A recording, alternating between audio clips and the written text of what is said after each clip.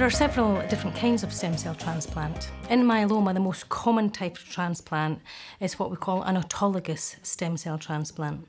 That's where the patient uses their own stem cells. The stem cell transplant process encompasses three distinct phases. The first one is collection or harvesting of the stem cells.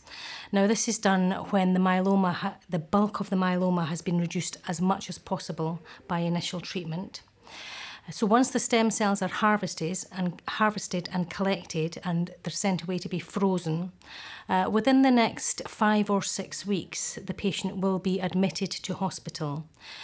When they're admitted to hospital, that's where they will receive the high dose chemotherapy, which pretty much uh, wipes out their, their bone marrow, their immune system. And that's when they receive the previously harvested stem cells um, to re rescue them from that, from that uh, high dose chemotherapy. So they will be in hospital for between two and four weeks. Uh, the shortest amount of time I've known anyone stay in hospital is two weeks. So it can take up to four weeks for the stem cells um, to migrate back to the bone marrow uh, and to make a new immune system. Um, and once the blood counts are uh, pretty much near normal level, then the patient is discharged. Um, and it's a process of rehabilitation and recovering at home. The first few weeks of discharge, they will be very closely monitored uh, by the, the transplant team uh, and they will be travelling back and forward to hospital on a regular basis. But the recovery should be um, smoother after that.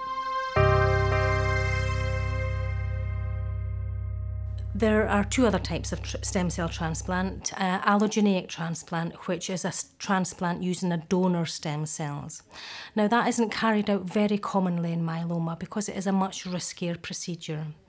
Uh, generally, if an allogeneic or donor transplant is considered, it's usually in the younger patients, younger and fitter patients. The other type is a mini transplant, which is an allogeneic transplant, but it uses a much lower dose of chemotherapy.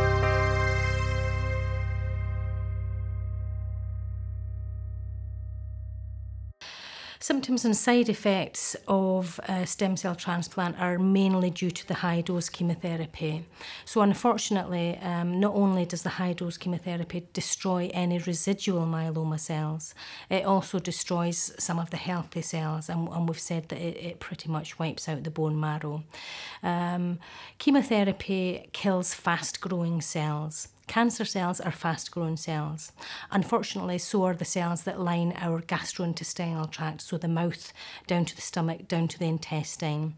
So it's very common for patients to get a sore mouth, um, for them to be nauseous, and for them even to vomit. Um, and diarrhea, unfortunately, is also commonly um, commonly occurs after a stem cell transplant. However, having said that, uh, stem cell transplants are carried out in accredited units where the staff are all very highly trained uh, to be uh, on top of any possible complications very quickly.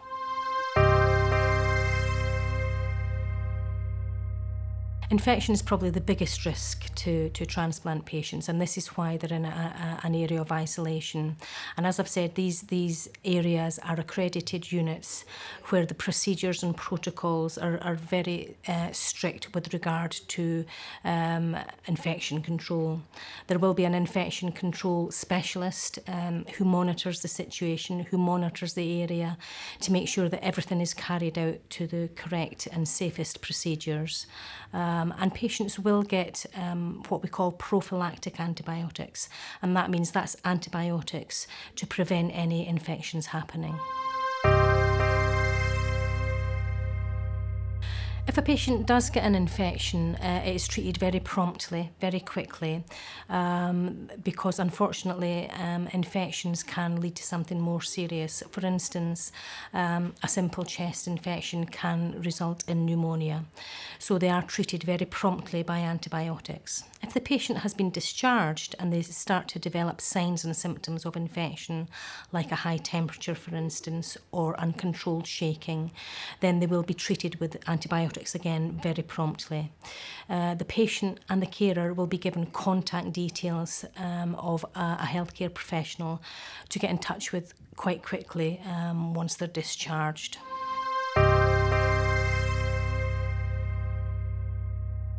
It can be quite a boring time um, in, a, in isolation in a stem cell transplant unit. Um, often patients are encouraged to take things in from home, um, laptops even, books, photographs of families and friends, crossword puzzles. Um, and visitors will be encouraged as long as the visitors um, don't have any signs or symptoms of infection. So anybody with a sniff or a snuffle uh, would be asked to stay away. Um, but it can be a lot of the time will be sleep spent sleeping. If someone is feeling a bit poorly, then then sleep is a great healer. Um, so so sleeping will take up a lot of time, but they will the patients will be encouraged to take things in from home to keep them occupied. Taking in um, adequate nutrition whilst you're in hospital can be quite tricky actually. Um, if you do, develop a sore mouth, you won't want to eat. Um, your appetite will be, be lowered. You won't feel like eating or drinking. It's possibly more important to try and drink as much as you possibly can. Even if you're not taking in a good diet, try and maintain a good fluid intake. If you are losing weight, then there may be um, it may be necessary for a referral to a dietitian or a nutritionist, um, and they will oversee prescribing um, high protein drinks or, or these drinks that you hear called Ensures, which have all the nutritional contents of, of a meal. Um, chewing ice or sucking on ice lollies is, is often quite good and it can prevent you getting a sore mouth. Um, uh, this is what patients tell us uh, on the info line if they chew or suck on ice when they're getting their chemotherapy, it can often prevent them getting a sore mouth. Um, once they get discharged home, unfortunately, eh, they, they can the, the reduced or poor appetite can continue for some time. Things can taste differently. There may be a metallic taste about food. Something they've enjoyed previously isn't quite so enjoyable. So again, this is where the carer plays a very important role. Um, and it's a case, I guess, of little and often, just a little bit of what you fancy. If today you're enjoying scrambled eggs on toast, absolutely eat as much as you like. Um, but it's just, you know, if, if something that you enjoy, then, um, uh, then do make lots of that. Whilst you're in isolation and the chemotherapy has reduced your immune system, Um, you will be on what we call a clean diet because obviously there are bacteria found on food. Um, so you wouldn't want to be um, causing the patient to, to develop a bowel infection, for instance, by eating something that's contaminated. So for a while, whilst the, the patient's blood counts are extremely low, they will be on a, a clean diet which comes up from the hospital kitchen and it's been cooked at very high temperatures so that all bacteria um, are killed off.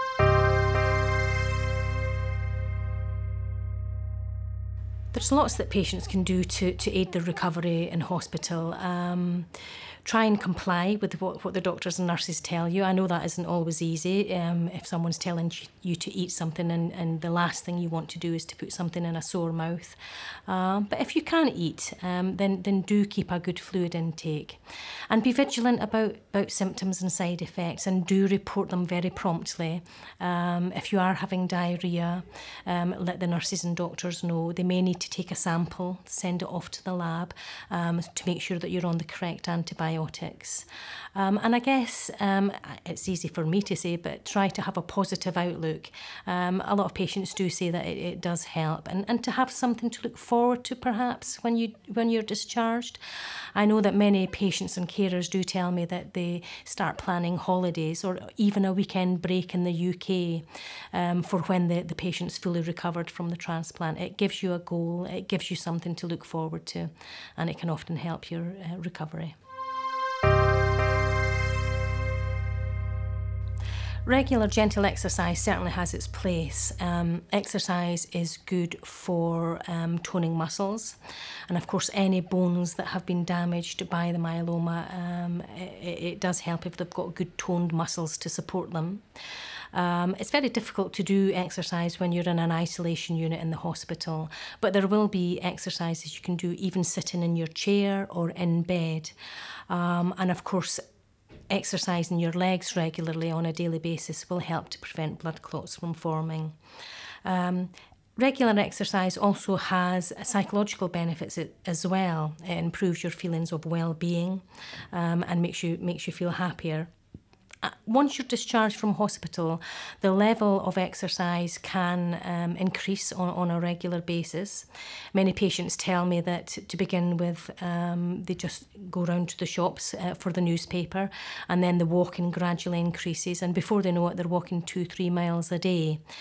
Often regular exercise can be overseen by a physiotherapist. So if you have a particular problem with your mobility, if you're finding it particularly difficult to get that back to some level of normality again, it may be possible for a referral to a physiotherapy, physiotherapist who will oversee any exercise program.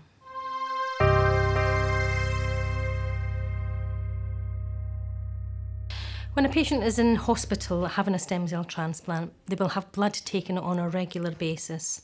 Now, they will have a Hickman lining, which is um, a cannula in one of the bigger veins just under the collarbone here. So that doesn't mean that they're going to have needles jabbed into their veins every day. The doctors will be able to take the, or the nurses will be able to take the, the blood straight from the Hickman line. Um, and once the, the stem cell transplant, uh, once the stem cells migrate to the bone marrow, um, what doctors will see slowly and gradually is an increase in the healthy blood cells. So the red cells, the white cells and the platelets will start to recover and will start to get back to some level of normality. Now, a patient won't be discharged from hospital until these counts are, are near as normal as possible.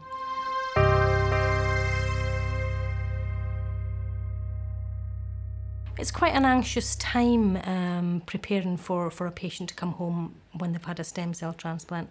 And I have to say, it's, it's quite a hot topic on the info line, this question. What do I do to prepare, prepare for my loved one coming home from his transplant?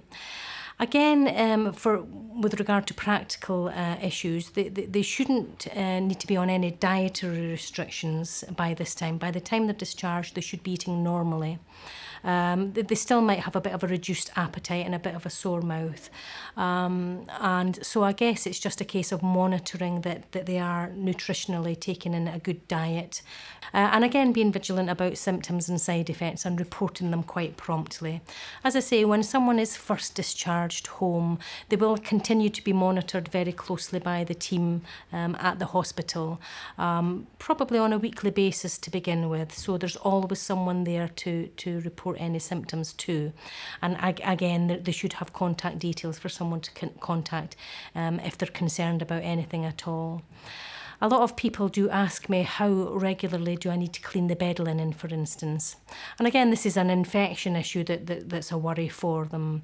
Um, and it's it's not necessary to go overboard, um, but yeah, you know, um, you know, weekly clean linen, I guess, um, is is quite important.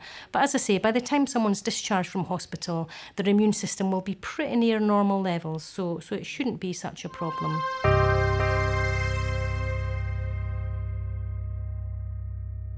Fatigue is probably the, the biggest thing that um, that patients tell us it takes the longest to recover from, and it's probably the hardest thing to come to terms with and to get over. Often, once a patient's discharged, they're quite keen to get to get on and do things, get back to doing their hobbies, their gardening, um, and fatigue can often stop them from doing that.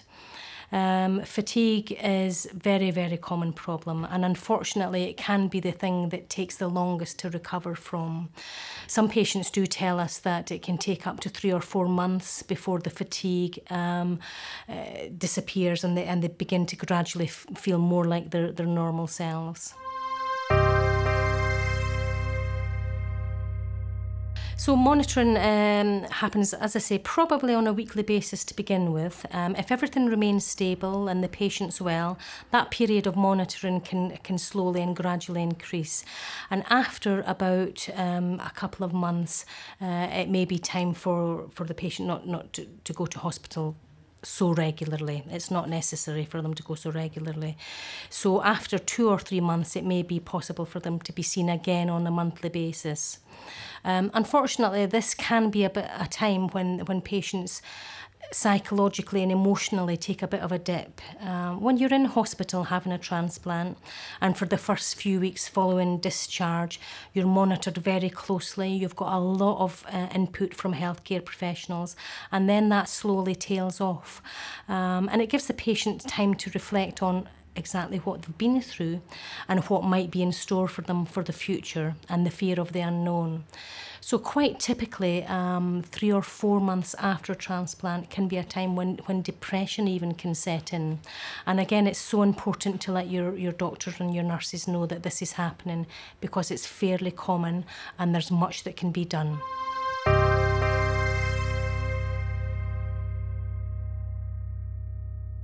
Often when patients go in for a stem cell transplant, their, their myeloma has already been reduced um, quite dramatically by initial treatment.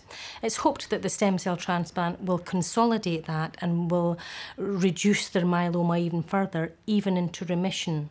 And remission means that there's no evidence of the myeloma on any laboratory test. Um, so patients generally won't know how well a, a stem cell transplant has done for about two or three months. And the transplant procedure itself can continue to work on the myeloma for up to about six months afterwards.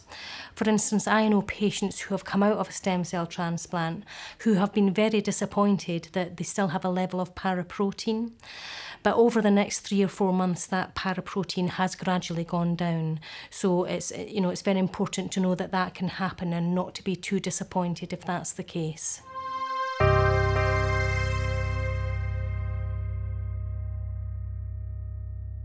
There's no standard um, maintenance treatment in the UK at this moment out with a clinical trial. I know that some clinical trials do include a maintenance treatment. Um, if the patient's myeloma has been reduced to uh, remission, which, as I've said, it means there's no evidence of the myeloma, then generally this treatment would stop and the patient would be continue to be monitored from there on in. If the patient is left with any residual myeloma, I know that some doctors will, um, after a period of time, um, say two or three months, may well uh, suggest a low dose of thalidomide, for instance. But the question around maintenance is one that, that it's not clear cut. There's no clear answer about maintenance therapy as yet.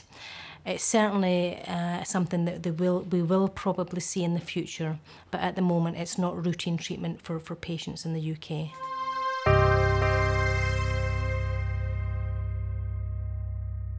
In summary, um, patients recovering from a stem cell transplant, I would say um, take your time. Um, don't expect everything to improve very quickly. These things, unfortunately, don't happen overnight.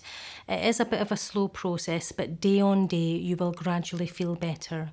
Um, sometimes it might feel as if you're taking two steps forward and three steps back, but over a period of time, you will gradually start to feel better and, and back to your normal self.